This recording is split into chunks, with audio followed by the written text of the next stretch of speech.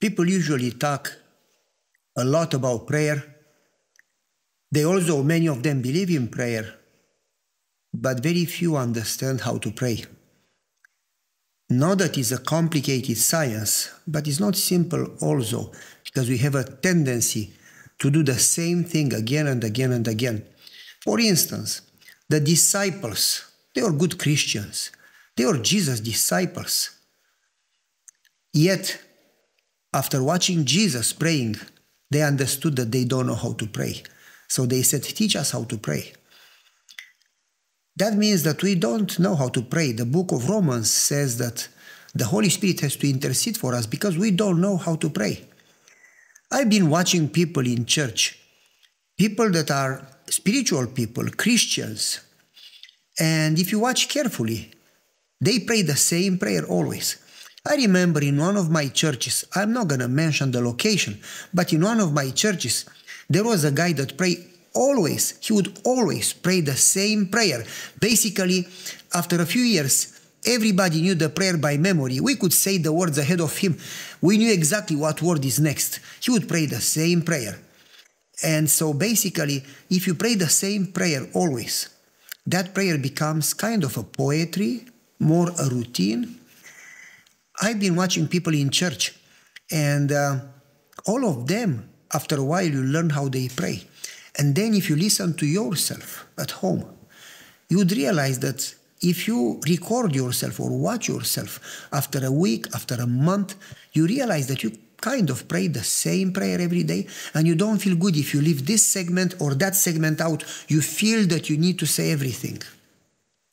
But prayer is not a routine. It's not a poetry. If you say the same words always, you'll get used to them. You'll not even have to think about it. It's like poetry. They just come. You can be thinking about the game or about politics or about business. Uh, words would come because you are used to say the same words. You don't even need to think about it. That's the reason we cannot even focus, we don't get answers. I cannot imagine if I would say the same words to my wife every day. I think I would have to sleep on the couch. My wife wants me not to go every morning and say, Good morning, Thank you for being with me last night. Please be with me today. And the kind of the same words. My wife wants me to be open, to be honest, to have an authentic, open conversation. Prayer is the opening of the heart to God as to a friend. It's an honest, simple, humble conversation. It's a dialogue.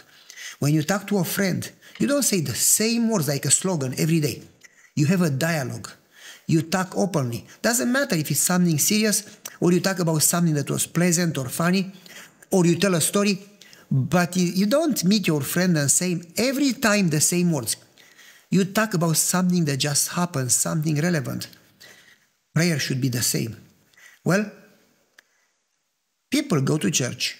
People pray uh, at home, pray in the morning, the morning prayer, pray in the evening, the prayer before they go to sleep, and pray before the meals, the prayer for the meal.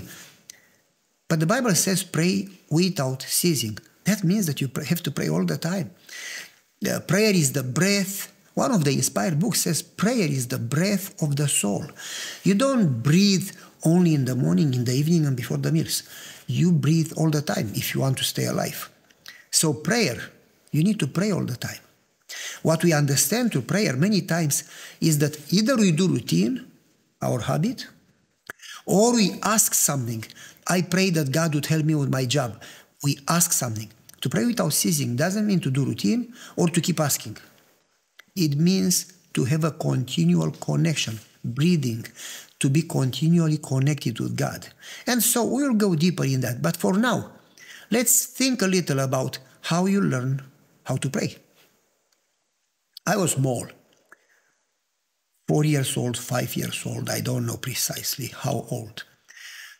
But I noticed people just praying routine prayers, praying slogan habit prayers. but I noticed, I noticed my father praying differently. When he prayed, his prayers were simple and to the heart. Let me explain what that means. People in prayer, moreover, when they pray in public, they try to choose flowery, pompous, sophisticated words to impress the others. Prayer is not to impress people and not to impress God. Your nice words, well selected words, don't impress God. Rather, an honest, broken heart would impress God. And so, my father would not pray like the others, but he would rather, when he prayed in public, his prayers were short, simple, honest, and straight to the subject. When he prayed at home, I would see him praying along, not routine prayers, two minutes in the morning, two minutes in the evening, but rather spending hours in prayer. My father would pray differently. I saw him praying sometimes for hours, sometimes 15 minutes, sometimes half an hour, sometimes two hours, and sometimes the whole night. Not always. In the Bible, it says that Jesus would wake up early in the morning, but also in the Bible, it says that once in a while, Jesus would spend the whole night in prayer. And so I saw my father doing that. And I had a talk with him. I said, Why do you pray so long? To make a parenthesis, I like water. Oh, I love water. In heaven, I'm going to build my house on water, maybe on a lake. And when it was hot, when I was young, and there was a hot day in the summer, my mom had a container. I don't know how to call it. It was like this shape, and it was taller at this end and smaller at this end. And I would get in that container like a tub, uh, like a bathtub. And my head was here and my legs here. It was filled with water. And it was hot outside, maybe 43 degrees Celsius. Um, I would get in the water and cool down. And once in a while, when I had headaches because it was too hot, I would get my head under the water and then get up again, and I would feel really good. So my father said to me, I said, Why do you pray so long? What do you say when you pray so long? What do you need to pray so long? My father would say, You know when you get under the water? I said, Yes. Where is the water? I would say, All over in front, in the back, in left, in the right, above and under, all around me. And my father would say, so I need God's presence. As you need water and enjoy water, so I need God's presence. And I want it all over me, to surround me, all around, everywhere. And then my father would say, when you call God, Satan runs away. Satan and God don't live together. When God comes in, Satan goes out. And whatever part is not covered by God's presence, that's the part that is exposed, vulnerable to Satan's attacks. So my father would pray the whole night. I said, And what do you say so much? And he would say, Well, I pray to know God, a desire to understand Him, because eternal life is to know God. And I pray that I understand God's plan. And I pray for people in need. And I pray that I understand how to help people and how to behave like Jesus. Not only to tell what Jesus told, but to live the way Jesus lived. Because that's the most powerful testimony, is not what you say, but is what you do. And I pray for you and for your sister and for your mom.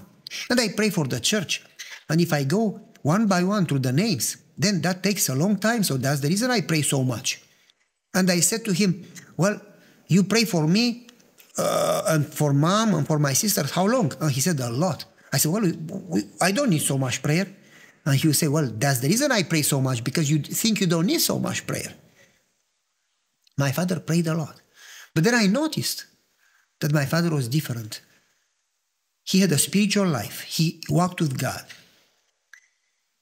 He was very profound. When he spoke, people listened. You could sense that he, whatever he says, you could sense wisdom and God's words in it. And also, my father had a lot of stories. People don't have stories, don't have miracles, don't have experience with God. People just have a regular life. My father had a lot of stories, powerful stories of answered prayers. And I started to understand because he prays so much. He gets those stories, those experiences, those answered prayers. You see, People want big answers with small prayers. Small prayer, small answer. You want big answers, you need to pray big prayers. And my father started to explain about prayer, and he would say, Prayer is not the words that you say, but rather the relationship that you build.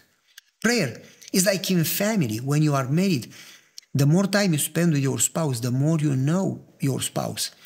The more time you spend with God, the more you know God. Well, I started to understand later when I was dating my first girlfriend and last because she is my wife. Never had a girlfriend before or after, obviously. And so I started to understand what he meant to pray differently, not to pray routine, not to pray duty, not to pray poetry, same words, not to pray crisis. You pray only when you lost your job, when you have cancer, when you are in a divorce, but rather to pray relationship, to try to know God, to spend time with Him, to open your heart, to try to pray for others. Pray that you will understand God's plan and you will follow God's plan. To pray prayer that is the opening of the heart, to pray prayer that is a conversation, an honest dialogue. God is inviting us to pray those types of prayers.